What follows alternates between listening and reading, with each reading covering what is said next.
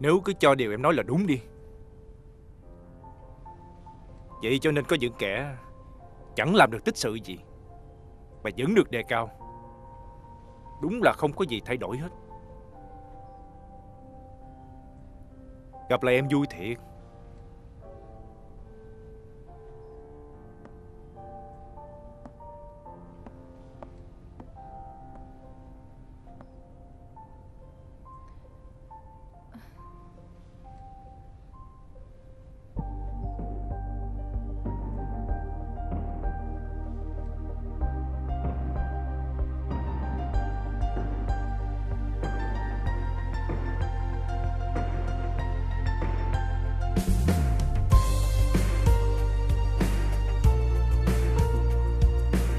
Đừng có bao giờ biến mất nữa đó. Anh chưa cho phép em. Thì đừng có mà trốn khỏi anh. Cũng không được tự động cắt liên lạc. Biết chưa? Tại sao? Lý do gì mà tôi phải nghe lời anh? Không cần lý do gì cả. Chỉ cần em nghe lời anh. Vậy thôi.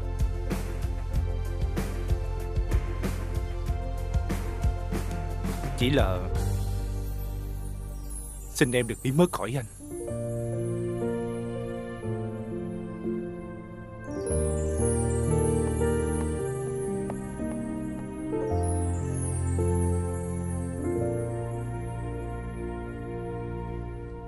Từ đầu gặp anh tôi đã nói rồi. Anh làm vậy là không có được. Anh đã không làm đúng cam kết ban đầu. Bây giờ còn lại ép tôi là sao? Chị đã nói vậy Thì tôi cũng không biết phải làm sao Chị đã thất hứa với tôi bao nhiêu lần rồi. Chắc tôi phải nói chuyện này cho anh Đạt Chồng của chị biết. Để coi anh có giúp gì cho tôi được không. Anh nói gì? Anh kiếm ai? Trong công ty này Còn ai ngoài anh Đạt Mới có đủ khả năng để lo khoản tài chính đó cho chị? Chị cũng thừa biết mà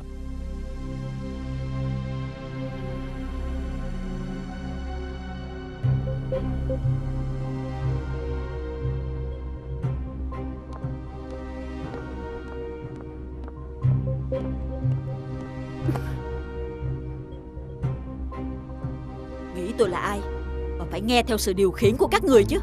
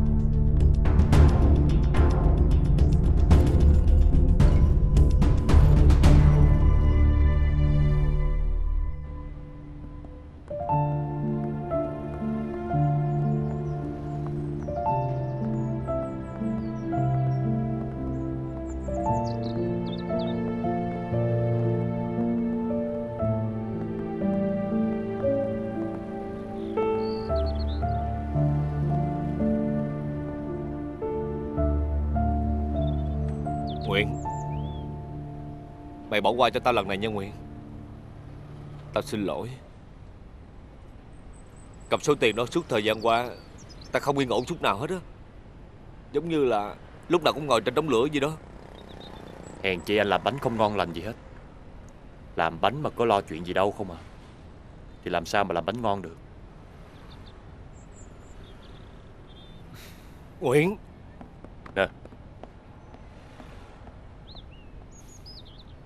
Thôi được rồi. Chắc là không sao đâu. Về chuyện bữa nay ở công ty Thành Phát, Coi như mắt không thấy. Cậu cứ coi như là mình không biết gì hết. Cậu nhớ lời tôi nói chưa Chuyện này mà để lộ ra bên ngoài, Để người khác biết, Là hậu quả không lường được. Cậu có hiểu không? Hả? Dạ. Sống đầy bụng, Chết mang theo. Con hiểu rồi.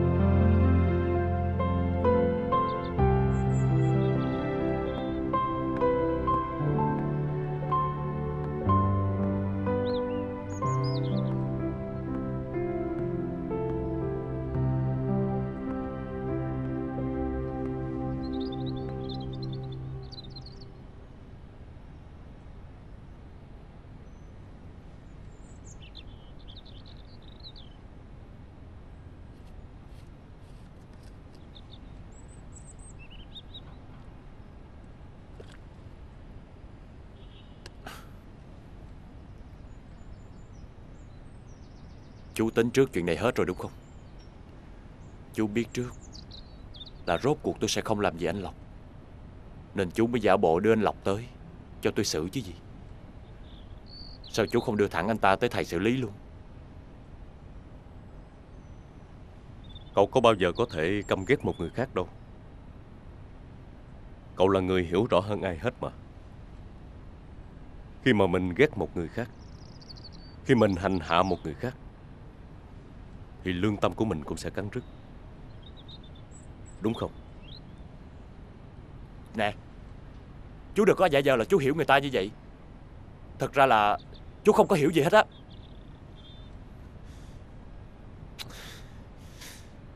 Đã bị nghi ngờ rồi. Bây giờ còn bị cấm vô lò bánh nữa. Trời đất ơi! Tôi làm sao đây?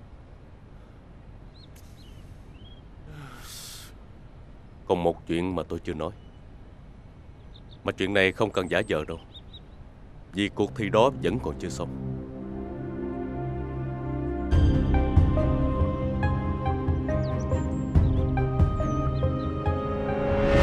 Bây giờ chịu bị nghi. Loại ba người kia để tiếp tục thi một mình. Hay là trả lại tiền bột cho ba người đó đây? Ý chú biểu con bỏ thi sao Nếu không trả lại tiền một, Thì ba người kia đương nhiên bị loại.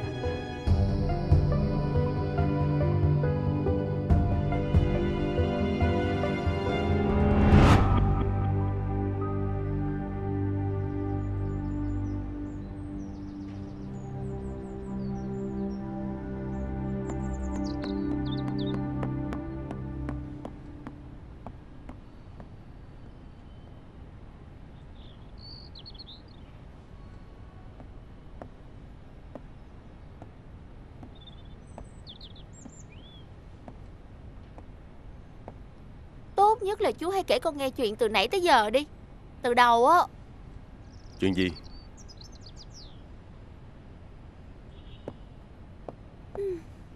Chuyện của ba người á.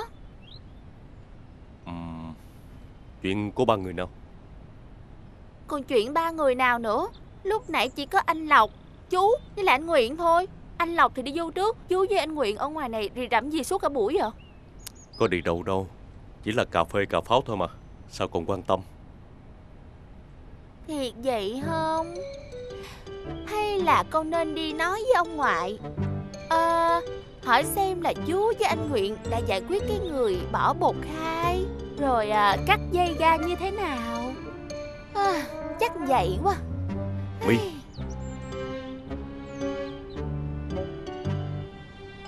Dạ.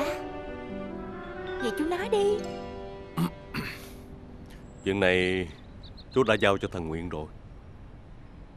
Mà thằng Nguyện nó nói chỉ hù dọa thằng Lộc chút thôi. Chứ chuyện này á Mà ba con và thầy biết là thằng Lộc bị đuổi chắc Mà nó đâu có bà con thân thích ở đây. Anh Nguyện nói vậy hả chú? Con cũng đừng có nói với ba nghe chuyện này. Ừ. Coi như là con không biết chuyện gì hết. Chú nghĩ là thằng Lộc nó cũng ân hận lắm rồi. Dạ con hiểu rồi.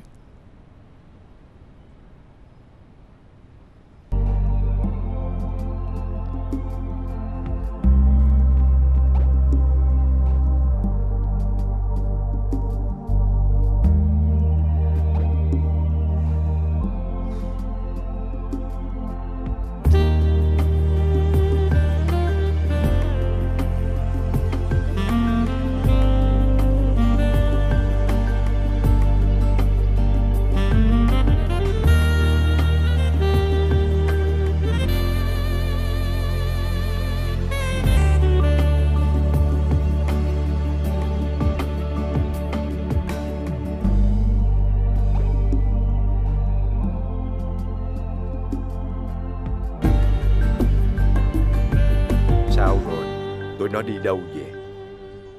Dạ Con nghĩ là con không nên nói thêm gì nữa hết trơn á. Làm sao? Nói chung là ba với ông cứ coi như là chuyện giữa ba người đó không có gì xảy ra hết trơn á. Ờm, anh Lộc không có bị sức mẻ gì hết trơn. Con nhỏ này Nói năng kiểu gì kỳ vậy? Hay là để ba đi hỏi tụi nó Dạ. Ba người đó đi uống cà phê Để nói chuyện cho anh Lộc hiểu. Ờ anh Nguyện nói với lại chú Vinh là Đừng có nói cho mọi người biết. Sợ nói ra thì anh Lộc bị đuổi. Mà nếu như không bị đuổi á Thì ảnh cũng quê Ảnh ngại không ở lại đây nữa. Ừ. Thằng Nguyện nó nói vậy sao? Dạ Bởi vậy ba với ông Coi như là không có biết chuyện gì Xảy ra nha. Cũng đừng la anh Lộc nữa. Chú Vinh nói là Anh Lộc hối hận lắm rồi. Dạ Cái này Ba tính sao hả ba Mình cũng để vậy thôi hả? Không có cảnh cáo nó hả ba Thằng Nguyện Nó muốn cứu danh dự một con người Còn có cách nào hay hơn không?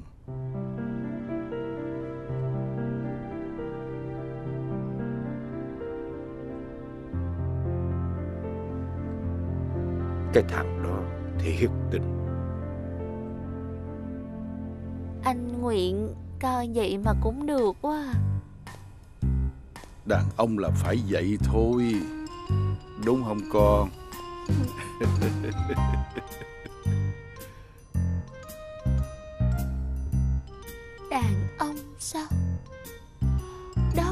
phải là mẫu người mà trước giờ mình thích hả? Một người đàn ông cao thượng, nghĩa hiệp.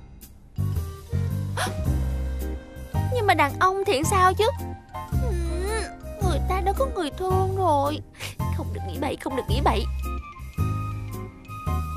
Nhưng mà Hai người đó Cũng đâu có gặp nhau đâu.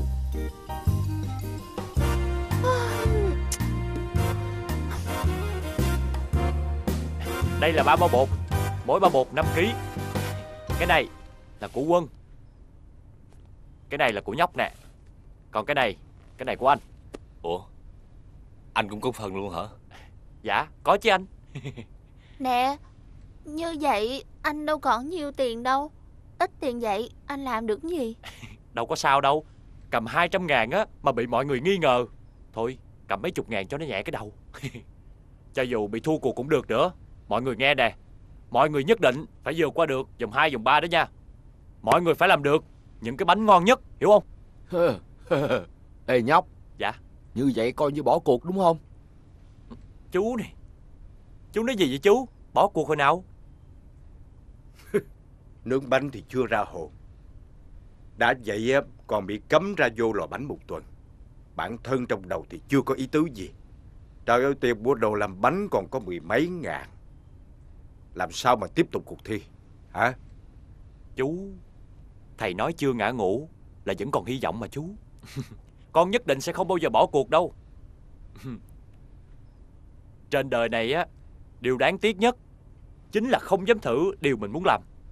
Cho nên, con nhất định Sẽ không bao giờ bỏ cuộc đâu.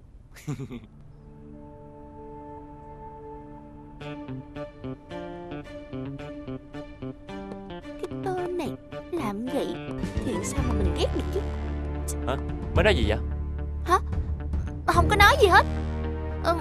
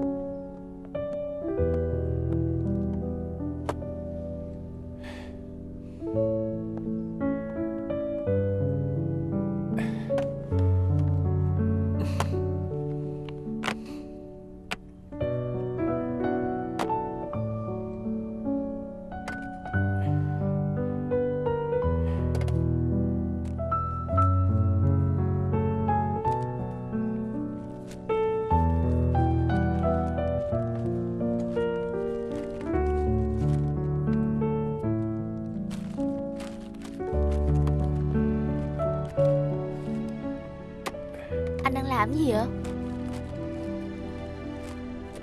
Ờ Ờ Anh đang muốn chia một ra làm hai Để tới khi nào á Mà Hồng Nguyên hết bị cấm á Thì anh đưa cho nó.